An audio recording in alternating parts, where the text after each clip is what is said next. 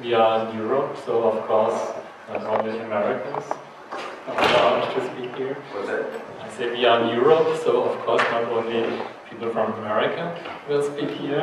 Um, I come to the next and last lecturer, Mary Nettle. She will speak about user and survivor involvement in services, education, administration and political decision making. Since years we, we hear wonder stories from England um, about um, involvement of users user survivors, paid involvement, they get really paid there, not only get a little money to pay their tickets when they go somewhere.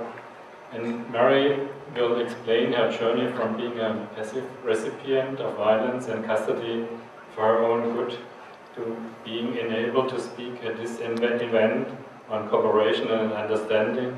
And she will explain why the radical change from coercion to cooperation would be better for anyone's mental health. Mary Nettle lives in England is the chair of the European Network of Users, Ex-Users and Survivors of Psychiatry. I'm very glad that she's here. She comes from her neighborhood, from England. It's very close if you look at the globe. And um, all their other roles and functions she will explain in her contribution now by herself. Welcome.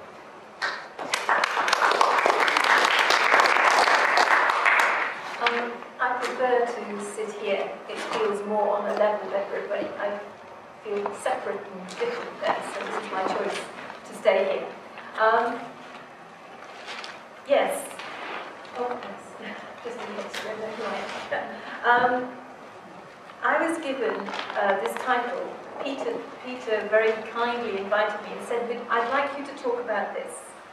And the title goes on forever, which you see in the abstract cooperation and understanding versus custodialism and violence, user and survivor involvement in services, education, administration, and political decision making. That is a, a PhD thesis. Uh, so I, um, it's going to be a very brief talk. It's a, um, and also I suppose I've got to explain how I come to be in this situation because um, I have a, a, a, brief biography which explains, I hope, how I'm part of this involvement in the UK, which some may say I've sold my soul, okay? But I don't think I have, but I hope to explain that. So, um, my, my name is Mary Nettle and I live in England. I became a user of mental health services in 1978 and turned this negative, which it definitely is, into a positive in 1992 by becoming a mental health user consultant. I became involved in presenting the user perspective in all aspects of mental health with a particular interest in user-led research. And the only way I was enabled to become a mental health user consultant was because I was um, part of the user movement who gave me the support and said, go on, tell them, we don't want to do it, you do it. Um, you can do it, we can't, but we'll help you do it. And it's brilliant. anyway, um, I've been a, some of the things that's happened to me, I've been appointed an honorary fellow of Brunel University, which is quite a thing, really.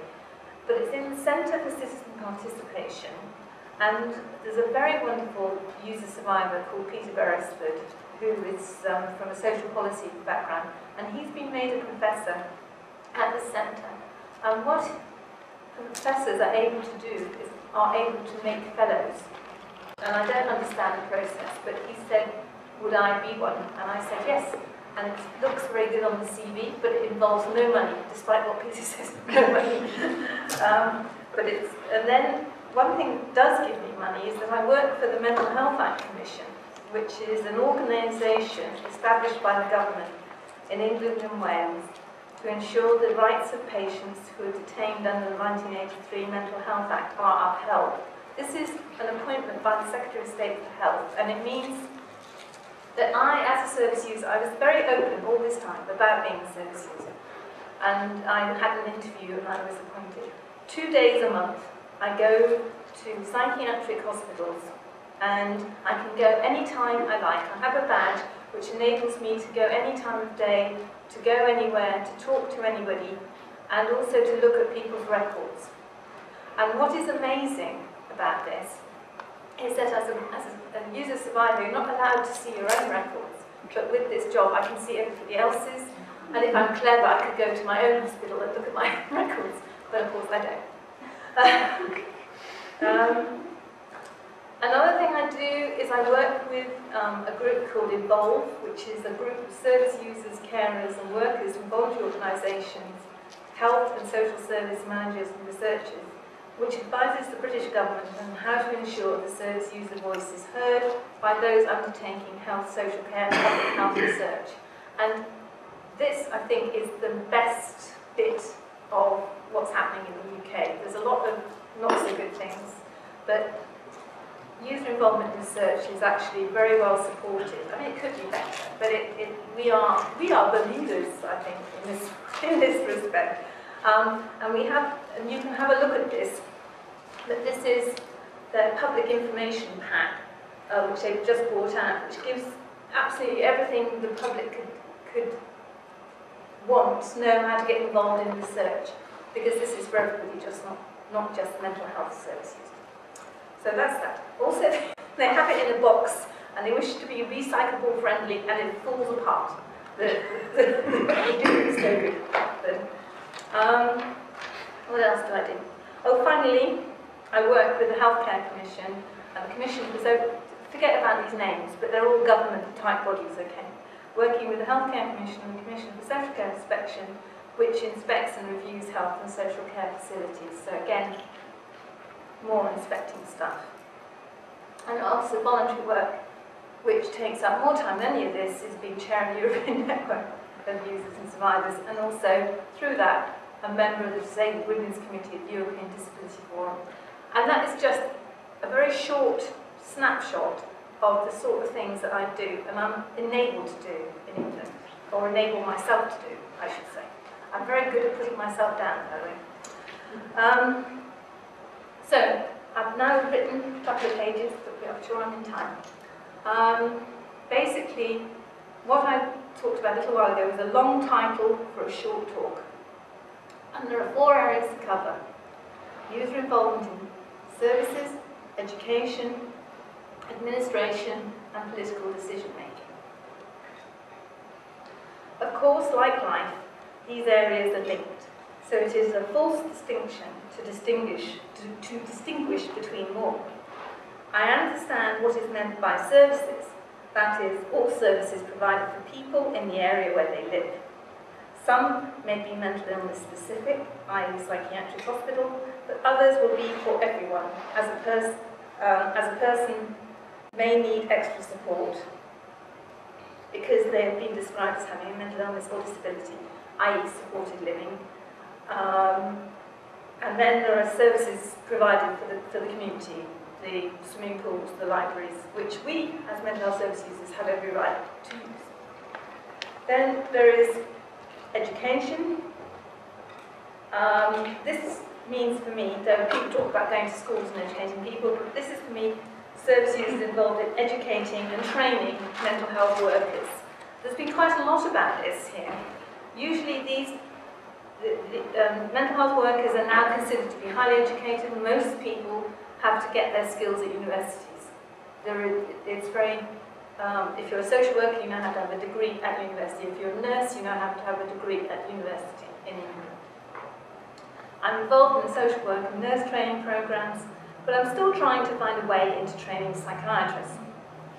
Uh, the World Psychiatric Association could take a lead here. The Royal College of Psychiatrists, which is the sort of WPA in England, um? In the UK, has put service users into curriculum, but I have not seen any evidence for it happening yet. But I may be just be in the wrong place. Because um, there's lots of people who live in England, lots of service users who live in England, I can't expect to know everything. I think I expect myself to know everything, but I don't. Um, And then administration and policy making go together as the workers implement the policy. This is the most difficult area to influence as the political climate can change and be very influenced by the media or seem to be unaccountable. and changing over time. This is a, a, what I consider to be a really good document, User Participation in Community Care Services, which is 1993. All about equal, everybody's equal, etc. And we're still talking about user involvement and everybody being equal in 2000 and, I'm sure we'll be talking the same.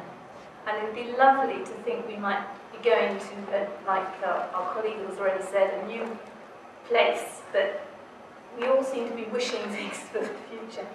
Anyway, and in the UK currently, the political climate is unfavourable to true user involvement.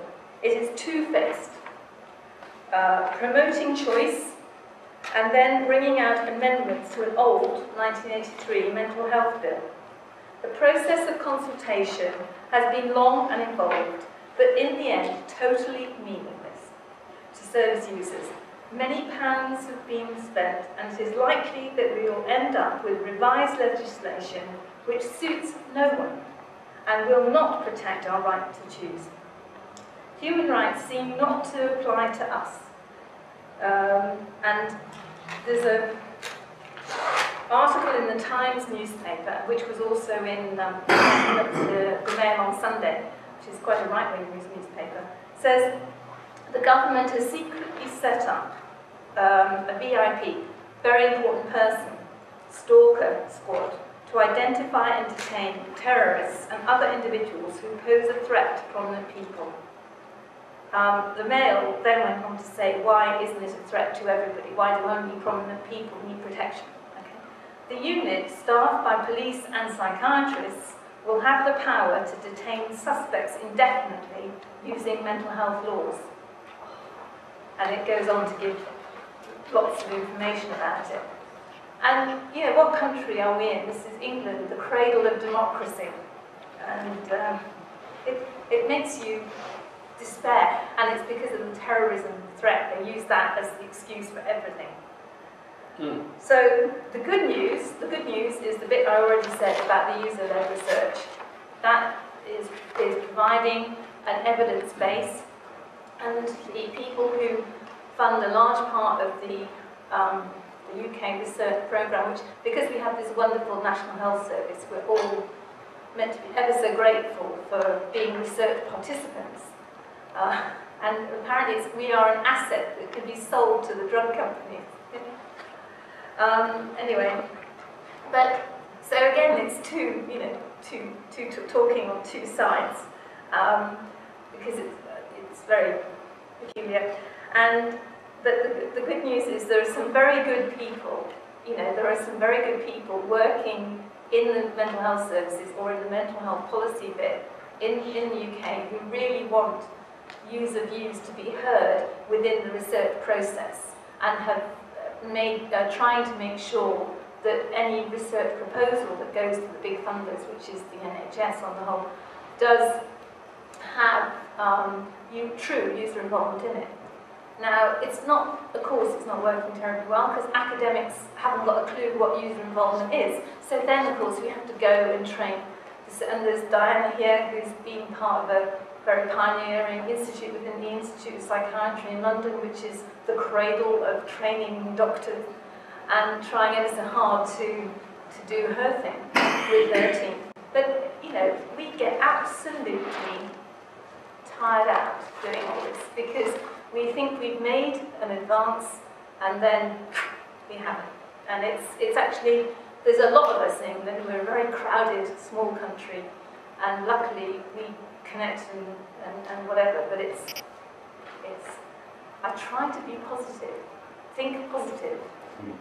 But when we, we have this mental health law and community treatment orders and all the stuff in the media about how we're dangerous and a risk, and it's quite tricky.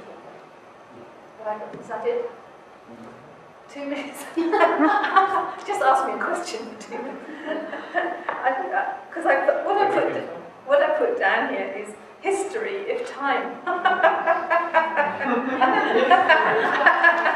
I don't think I've got time for. What is the, what is what do what do you think that is the reason that you uh, in United Kingdom a treatment and came some that's more? what are the factors? That we're defeated. We see. If you'll see it as a defeat. Yeah, no, no, no. We're, we're not defeated. We're just resting after a battle, and then we'll come back. Um, and you know, we do. What Peter said about being paid for our involvement is the case. We do. We do sometimes, not often. Uh, But again, that has been at a high level, and now more people do it. Though they say there's not enough money, and it's come down to a lower level. But it, there, we have a document which is well, very complicated because of our welfare benefit laws, but called Reward and Recognition, which is an official government document which demonstrates that people should be valued for their time as well as their opinions. So, Maybe just because from a neighbouring country, there Sorry, Sorry, sorry. Um, my, my, this was now the end of the. This was the end of the presentation. There's now time for discussion. There are some um, people who record, and if anybody has um, uh, a rejection that there is here somebody who record, um, he or she has to say, then the re records will stop. Um, but if you agree that the discussion is taped and recorded, then we can go on and use the time for discussion. So, sorry. I was just going to say, as I was, I'm your neighbouring country in Ireland, and, and I, I have contact with England, and I think the Soteria network is very good at that in England. And I think out of the Soteria network, we're, they're beginning to, uh, uh, they're thinking about a, a place now where people can come off psychiatric drugs, and I think it's important. Uh, as with all these wonderful initiatives, people can talk, but the actual money and practicalities is I think they're fairly years now, Oh. well idea. excellent.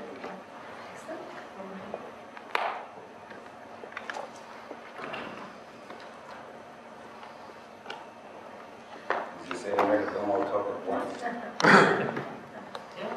Um, A question for Peter Stastny. Can you talk a bit more about um, INTAR's, um, how, you you described, you described a plan for New York City, but can you- can you talk about Infar in a more global sense? What, are are there, are, what projects are actually functioning, what projects are in formative stages? Well, INTAR has met, the group has met three times since 2005. The, the idea behind it is, is to collect a group of rather rare uh, phenomena, phenomena that we all cherish and that we all talk about all the time, but that once you start counting, you find out that the numbers are actually rather small. Uh, so the idea is to concentrate the wisdom and the effort and to network and to provide a platform for more, uh, information to be disseminated and possibly